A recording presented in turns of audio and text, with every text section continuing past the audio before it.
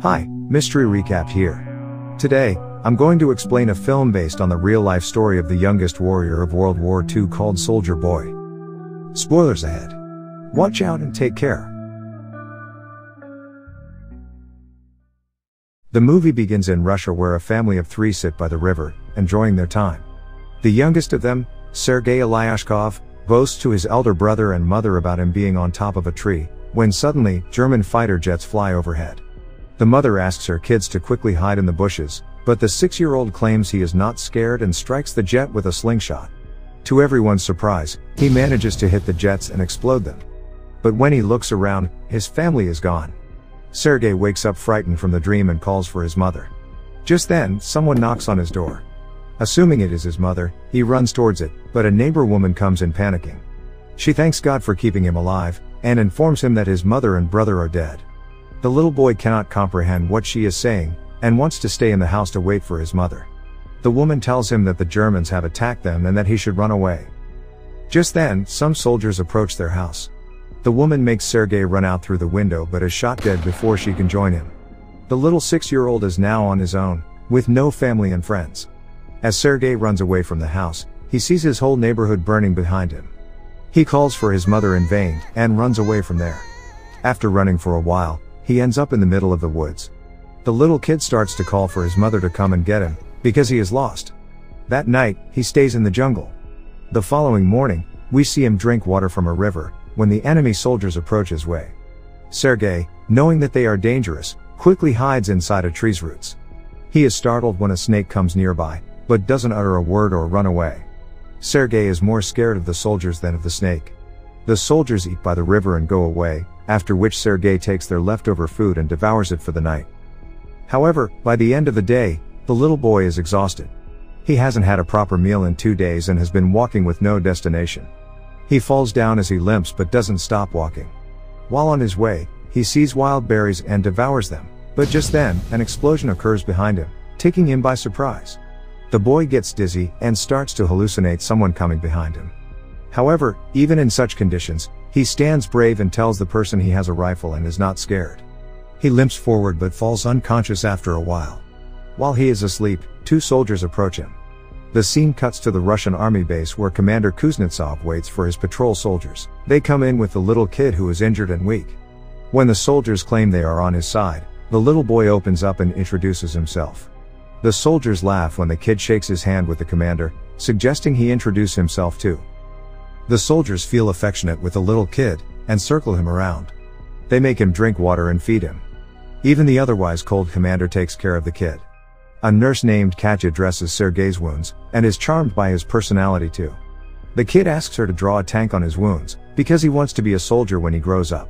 Even the injured soldiers talk to the kid, and feel lighter. Sergei is fascinated with the commander's gun in his badge. The commander too answers all the little boy's questions and lets him play with his honorary pistol after taking the bullets out. Sergei shows him the tank drawn on his stomach and boasts about being a soldier himself. The boy is healing very quickly. The nurse Katya asks the commander to let the boy stay with the battalion, but he disagrees, claiming that it won't be safe. He wants to send Sergei to an orphanage. The soldiers spend all their free time with Sergei. He is visited by many throughout the day. They bring him food sent by their families from afar, and even let him play with their binoculars. One day, a soldier goes to the commander to ask him to let the boy stay with the battalion. The soldiers have grown a close connection with the kid, and think of him as their own. His presence takes the weight of war off their chest. However, the commander is adamant about sending the boy to the orphanage, for his own safety. The following day, the enemies attack, and many soldiers are hurt. A vehicle comes to fetch Sergei to take him to the orphanage. The commander breaks the news to the kid, and gives him a wooden honorary pistol as a gift. The boy in turn hugs him, claiming that he is scared for the commander's safety. The commander melts in his embrace, and changes his mind. He asks Sergei to stay with the soldiers as his son.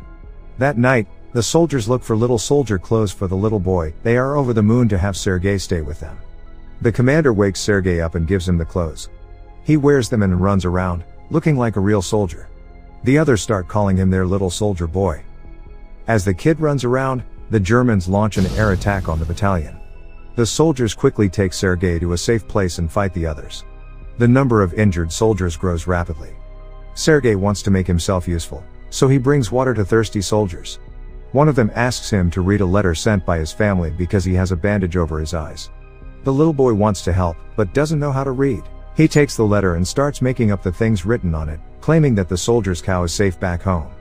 When the soldier says he doesn't have a cow, the others tell him to go along with the story and laugh. He reads everyone else's letters in the same fashion and cheers them up.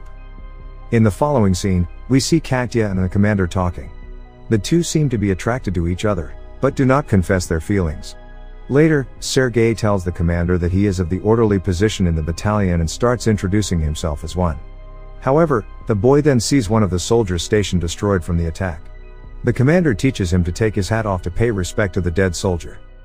The next day, he insists the commander give him a mission and is given a task to distribute the letters among the soldiers. He completes his task efficiently and even makes the soldiers dance for him. The following day, Sergei goes a little far from the base with his binoculars.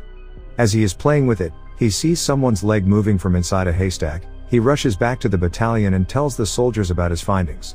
The soldiers are skeptical, but go with the boy anyway. When they reach near the haystack, they are alerted to see two German spies hiding underneath. The spies are arrested, and the kid is praised for his intelligence. That night, the commander shows Sergei the legal papers for his adoption.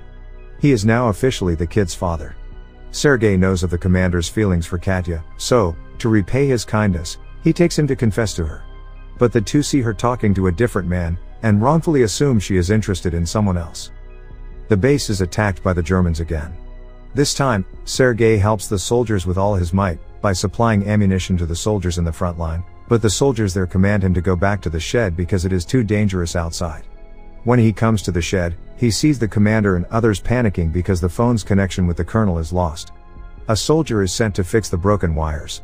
Sergei follows the soldier and sees he has been fatally wounded. He asks the dying soldier how he can fix the wires, and does it himself. The connection comes back and more troops are called. The six years old saves everyone's life. Later, we see the commander and Katya talking by the river. The commander finally confesses his love for her and asks her to be Sergei's mother. Katya is over the moon, but before she can say anything, a soldier approaches them and gives the commander a letter, saying they have been dispatched from the base. The following day, all the soldiers leave for their new base along with Sergei. However, on their way, they come across a minefield that blows off some of their vehicles. The commander is hurt while the group's orderly, who Sergei was close with, dies in the explosion. He cries and hugs the commander. They carry the injured ones with them and continue their journey to their new base. When they finally reach the other base, they meet the commander's leader, the general. He too is impressed by the kid's ambition, and congratulates the commander for having such a smart kid. The following day, their division is awarded a guard's banner, and so is the boy. He promises to save his country when the general gives him his badge. One night, their base is attacked brutally, and the commander is trapped under the ruins. Sergei cries for his father and tries to save him. He calls the other soldiers, who finally bring the commander out. The next day, Sergei approaches an injured commander, his hands were hurt while trying to save the commander. The kid is now an inseparable part of the team. He doesn't have a family beside them, and moves wherever they go in the war. The movie ends as the regiment is seen moving to another base. A voice in the background narrates that he even took part in the Stalingrad battle, and reached Poland with the soldiers. He is currently known as the world's youngest soldier ever, and the legendary story of his bravery is now spread for the whole world to hear. Subscribe for more videos like this, turn on notifications, and leave a like to help the channel out. Thank you for watching.